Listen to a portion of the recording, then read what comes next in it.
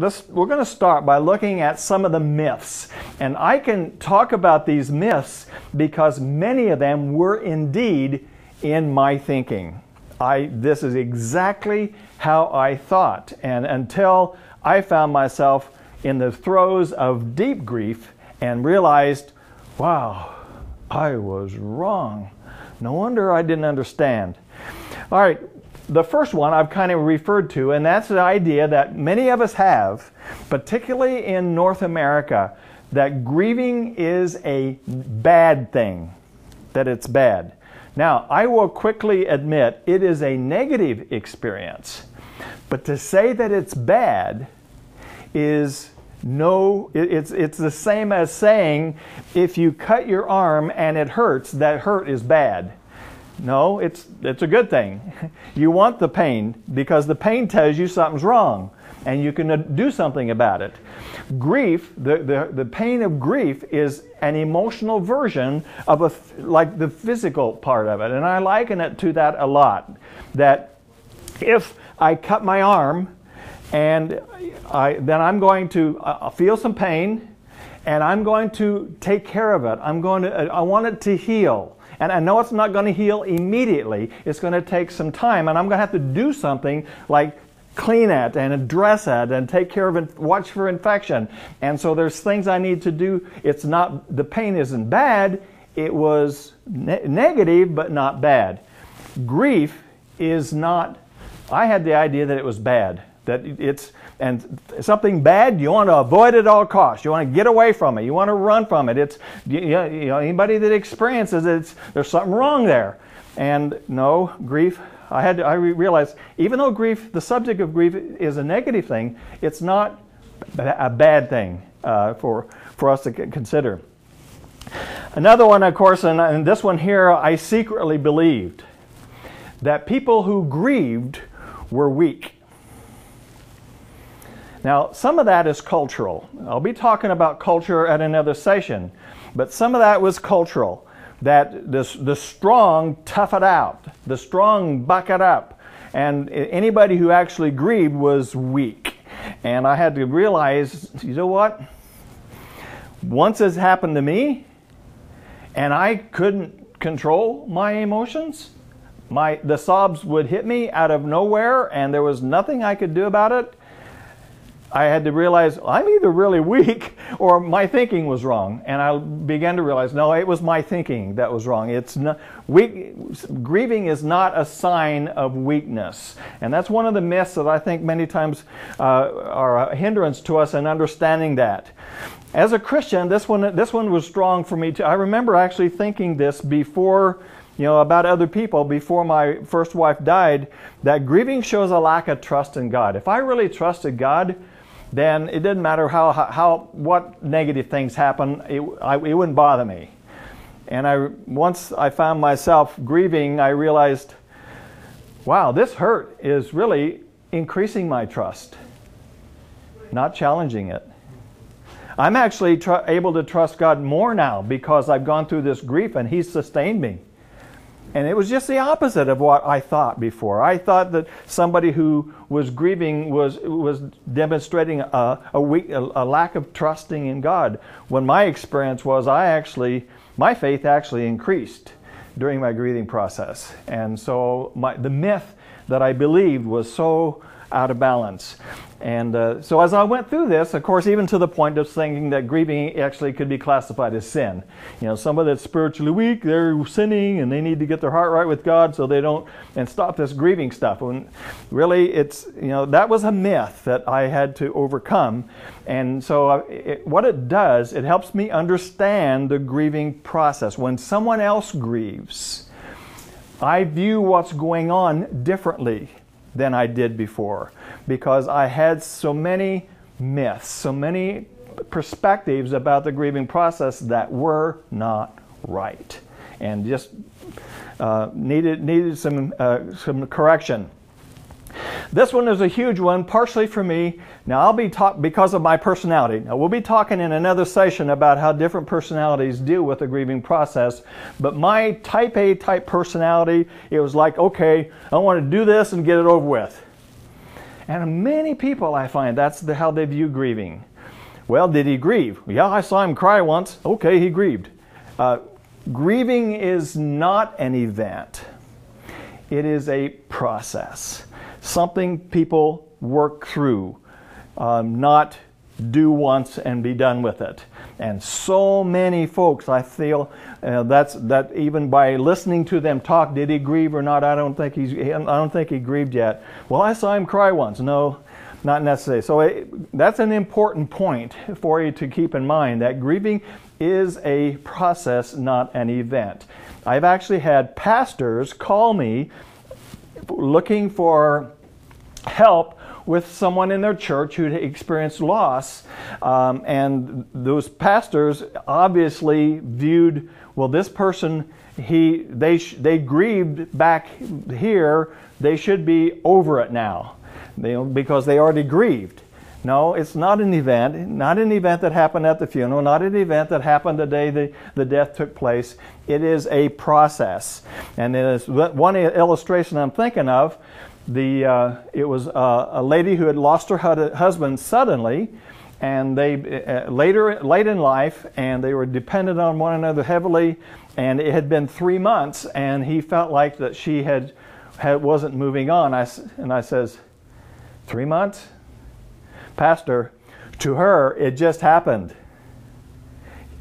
it's not an event that happened at the funeral it's a process and you're going to have to uh, give this lady some time. He says, "Well, will you, will you, help me?" So I did that, and by by within about six or seven months, the lady was was uh, working through that, and in fact, the whole story is she actually got a hold of me and got six copies of the book. She's given them out to other people to help them out, and she's doing quite well. But at first, you see what I'm saying? At first, the pastor still had the idea it, grieving was an event. I thought she did that. It's three months later. How come she's still struggling? He didn't understand that the process of grief. He saw it as an event uh, that took place. Now, this one was an interesting one that uh, happened to me after my second wife died. I saw this to be the case.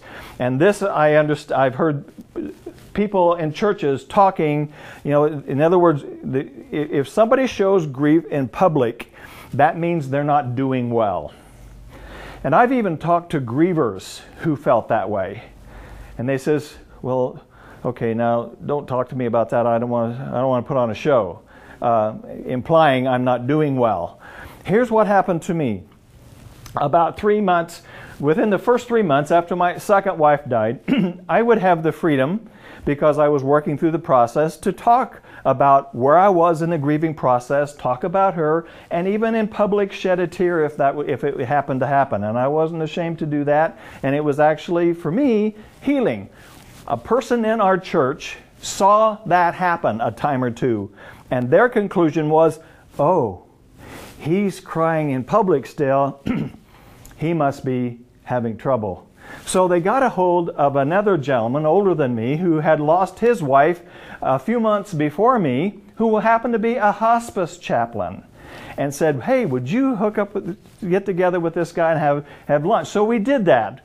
Don and I got together and had, had lunch and we got to chatting and so i'm sitting there sharing my process the things that i'm learning and going through what i was understanding about grief and where i saw myself in the process and what i'd learned. And about two-thirds through of the meal he stopped and leaned back. He says okay i'm going to be honest. I was recommended to talk to you because the person referring me thought you weren't doing very well. I'll be honest with you You've taught me some things. I think you're better, farther along in the process than I am. Thank you for that. And I, it's like, oh yeah, you know what? That is sometimes the case. That when we see somebody who's grieving express it publicly, we somehow think that that means they're not doing well. When for me, actually, it was evidence that I was doing well. I was allowing the process to happen and not stuffing it, which would have been de- uh, devastating. So, a big myth that oftentimes comes out there. Another one is that another myth that I've had and heard is that grief always follows a predictable path. Any deviation from that is big trouble. If you deviate from this path, then you, you, you're having trouble, you need counseling, you need to be put away or something, whatever.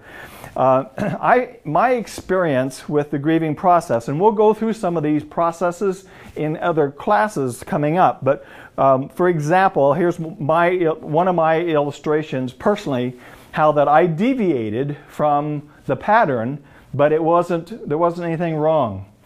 With my first wife, one of the sub, one of the issues that sometimes comes up in some death situations is the subject of guilt. That somehow the griever feels a certain level of guilt of some kind.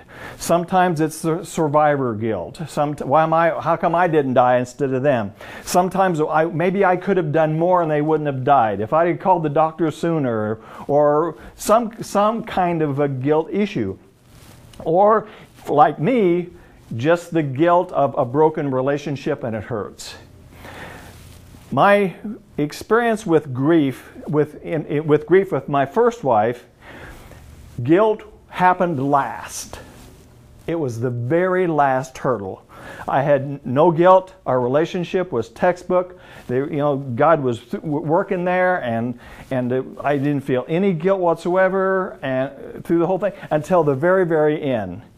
And what I realized looking back is that guilt was was uh, a result of a broken relationship. My lover was gone and the relationship was broken. And that little bit of guilt came from that, that last hurt. And how I actually got released from that, and I'll go ahead and tell you here, um, and it's not just for everybody necessarily to go through this. I felt like because of the love, love relationship was broken, I felt like I needed to say I'm sorry to my wife. And I, how can I do that? You know, whenever there's a relationship between two, uh, two lovers that, that break down, somebody, to, for the relationship to restore, somebody has to say, I'm sorry. Well, how can I do that? So, what I did, I drove to the cemetery went to the gravesite where she was buried. I knelt down and I looked up to heaven and I says, "Lord, I can't talk to Ruth, but you can. Would you tell her I'm sorry?" And my guilt was gone. That was my first experience. My second wife, guilt was the first thing that I dealt, dealt with. Because my second wife was a person that uh, words of affirmation were very strong to her. To, to, for me to, it was very, very important for her, for me to, to reinforce her and to tell her positive things and so forth. And suddenly, after she died, I was wondering, did I tell her I loved her enough? Maybe I should have done it more. And I started feeling guilty that maybe somehow I hadn't said I love you enough in life. And I had to work through that. I deviated from a process. I mean, it's one time it was the beginning, and the other other other people. I have a good friend who's who um, actually were co-associates uh, with an organization, and I found out that his wife had died. So I called him to to talk to him, and in the course of the conversation. I found out that his wife had actually committed suicide, and that had not been public information. And so he was telling me about that. And, and so we chatted, and I said, Well, let me call you again. You know, we had a nice conversation.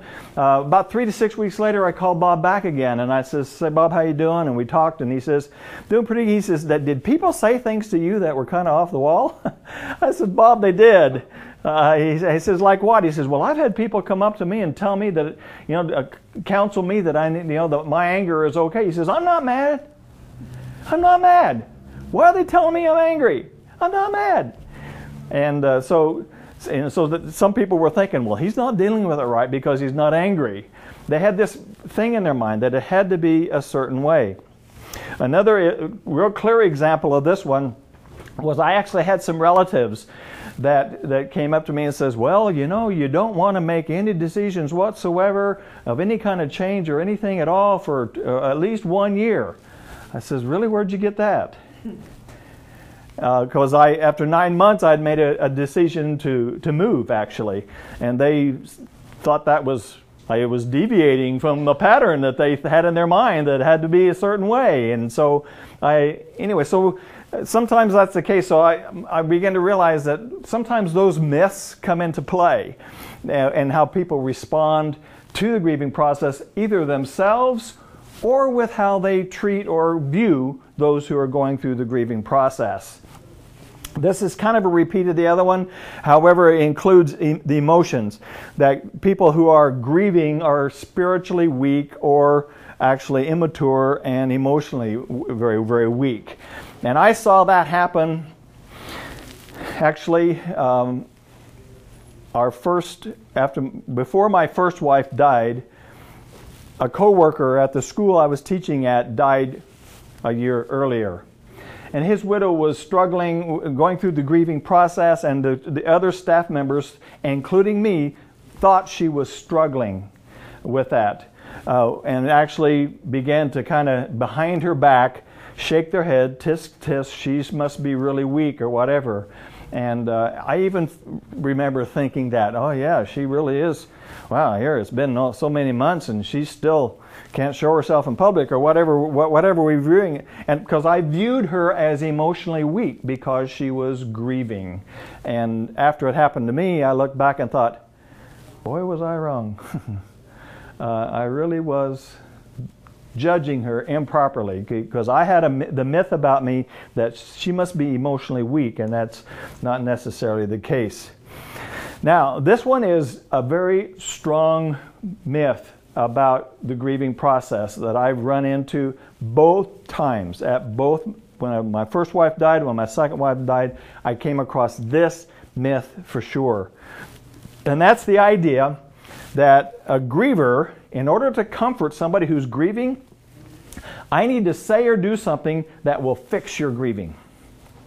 That when I walk away, you're better, or you're over it now because I did this or said this to you. And I, you know, I've had people actually come up to me and say, "Well, I always say this to a griever," Be, and with the with the idea that because that's going to fix them, you know, what kind of a thing. Listen, grievers will don't get the help from people that come along to try to fix their grief. You can't do that. It's grief is not something that's going to get fixed, and we'll talk about that later. And here's the other one that I'm getting, and this is where the responses I got from the, the book that you that you're actually reading is many people say, "Well, I don't want to say the wrong thing and make it worse, or I don't want to make them cry." Listen, after each of my wives died, there was nothing anybody could say that would have made my grief worse? Nothing. Your comments, even if it was stupid, would not make my grief deeper than it was. So, I'm not saying that you can't say the wrong thing. You can say stuff that are stupid and not a help to somebody and maybe make them mad or pull them, make but as far as making their grief deeper and hurt worse than ever, probably you're not able to do that. Uh, so not